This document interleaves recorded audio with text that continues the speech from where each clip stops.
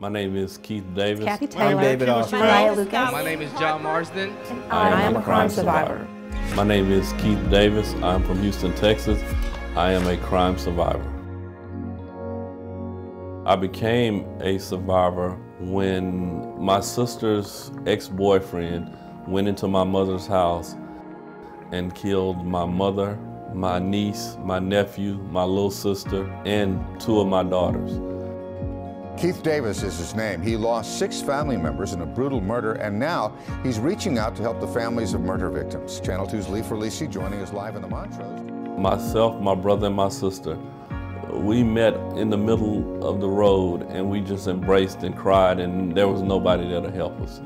Not that day and not in the years to follow. We buried six people at one time. We had no financial support. We had no counseling after the event. We were just left to fend for ourselves after three generations in one night were murdered. Davis is raising money to help victims' families cope both emotionally and financially. Crime survivors need to know that the compensation program exists first.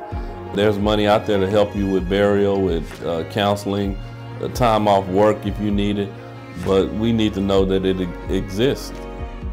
I don't think there's anything that's more important than to have somewhere to go, someone to talk to, someone to reach out to to help you. So when you have support like Crime Survivors for Safety and Justice, it is amazing.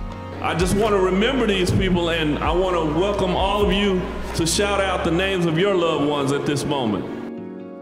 As a crime survivor, healing through action for me is helping others.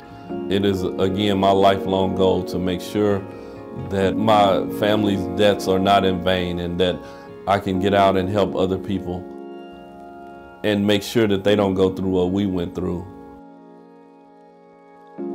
When, When survivors, survivors speak, speak, change happens.